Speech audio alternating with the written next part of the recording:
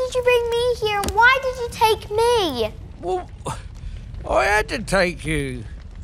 Because the first thing you'd be doing, you'd be scuttling around and yodeling the news that you were actually seeing a giant. And then there would be a great rumple dumpus, wouldn't there? And all the human beings would be rummaging and whiffling for the giant what you saw and getting wildly excited, and then they'd be locking me up in a cage. Hi, folks. I'm Ignatiy Vishnevetsky. And I'm Alex Dowd. We're coming to you this week from the AV Club set. Welcome to Film Club.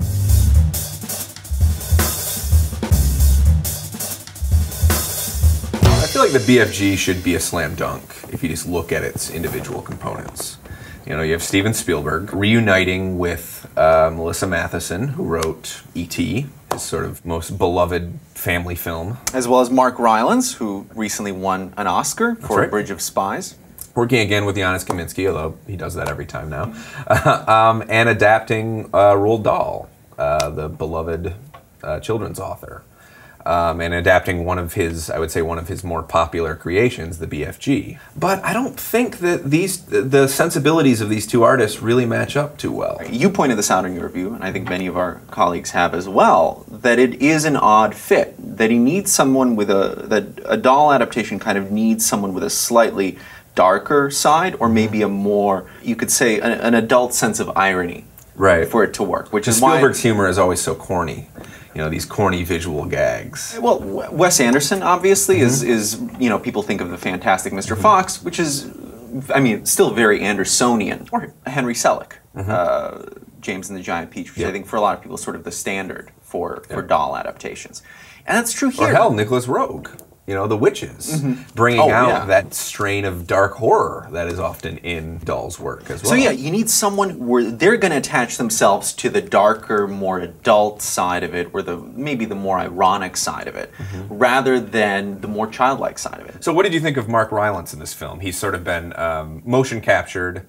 and they've uh, you know they, they've used that technology to more or less preserve his appearance, mm-hmm. but it, elongate it in certain ways. He's a wonderful actor. Mm-hmm. He's going to be wonderful in any role. Yeah. I wasn't you know coming off of something like Bridge of Spies, which is a really fantastically subtle performance, and he's also very subtle here, even though mm-hmm. he's playing this huge figure who can leap a hundred feet and is hiding in alleyways and being thrown around by other giants, he really underplays it uh, when it comes to his actual interactions with the little girl. Sure. Yeah, for, for a motion capture performance, it's very understated. But you but, had to add that caveat because yeah, I feel like.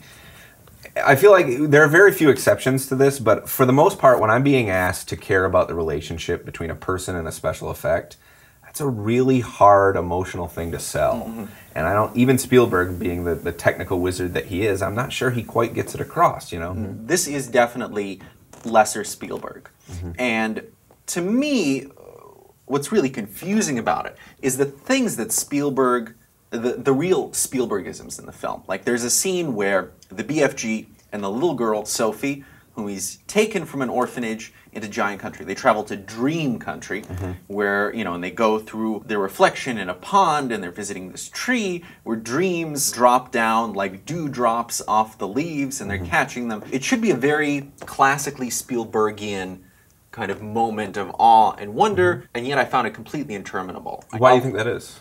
There's just there's something I'm not sure what it is, but there's something missing. The things that should be the kind of the classic Spielbergisms, they never completely click. Mm-hmm. And yet it's when it gets really, really strange, which is the last third. Once the Queen of England gets involved in the plot, yeah. this sort of this idea that this film is supposed to give you some kind of sense of of, of, wonder completely falls away. I think that's when it actually comes together. I mean, I, I agree with you that the passage at there's a passage at Buckingham Palace where the BFG shows up there, and that passage is by far probably the most delightful passage in the entire film. I, I, mean, it's where the whole plot just grinds to a halt.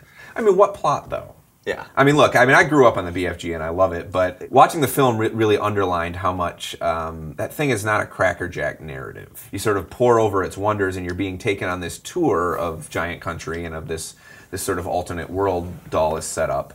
But as a narrative, it's pretty pokey. There's not a lot of incident in it, and that, that I think that makes it kind of a strange fit for Spielberg as well, whose movies can kind of be these these sort of locomotive forward moving objects. You know, You do, you do sort of feel like he's trying to make non-events seem as eventful as Yeah. possible, right? She's taken to the the BFG's cave, and there's a very long sort of sequence just looking around the interior, basically.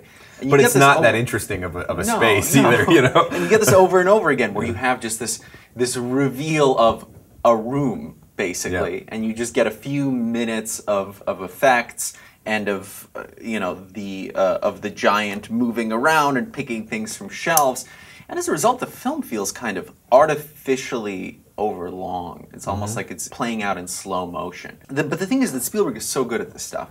He is sort of the go-to, the perfect example of this of this sort of classic special effects spectacle and how how you play it out. And he does it very well here. There just isn't that much to be, you know, to be kind of uh, awed by, Right. perhaps.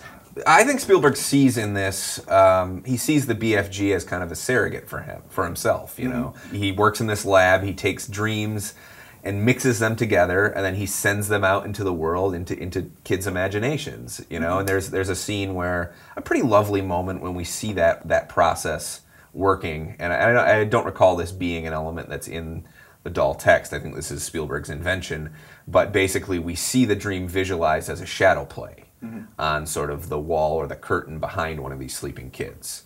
Um, and I think, yeah, I mean, I think Spielberg looks at the BFG and sees a filmmaker. You know, sees somebody whose job it is to enchant the world. You know, which I think fits into the, the, the whole sentimentality that he sees in this story. Spielberg, I've always said that uh, he's one of the greats at at integrating digital effects into physical environments. You know, we've talked before about Jurassic Park and why that film works and why those special effects still work. And a big part of it is that so much of what we're seeing on screen is real and organic. You have these special effects that are augmenting that and they're existing within that. In the BFG, once you get to Giant Country, predominantly what we're looking at is is ones and zeros. You know, we have a single human figure sort of acting against all this digital fakery, and I don't. I think something about his craft gets lost when I mean it's something that I see in in Tintin as well. When he's losing that physical anchor. Do you think it's because he doesn't have to sell? Like when the Mm-hmm. effect is 95% of the frame, he doesn't have to sell the effect, right? He doesn't have to introduce the effect. It's already there. Right. Do you think that's, he can that's even part it? yeah, I think that's part of it. I think he can, he does less with the camera. I think he does less with his staging because all of that all of those effects sort of do the work for him, you know. And and one of the reasons I think that you and I maybe prefer the Buckingham Palace passage to everything in Giant Country is that that reverses the ratio again. Mostly what we're seeing is a real physical space that he's filming With real actors and oversized props. Yep, with this one digital figure in it, you know. Um, and I think that ratio works a lot better for him and, and ignites his imagination more.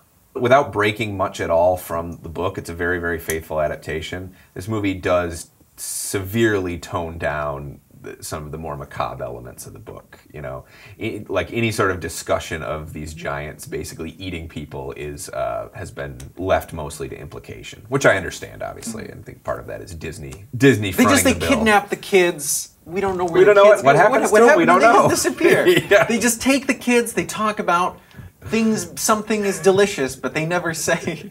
And there's a eat a lot of discussion of that in the book, and I think that's part of. I mean, I think Dahl has always appealed to some of the darker fascinations of kids. You know, actually, in the way that Spielberg did with something like Temple of Doom, Mm-hmm. which has always felt to me like, it, you know, if if Raiders is like his total adolescent imagination.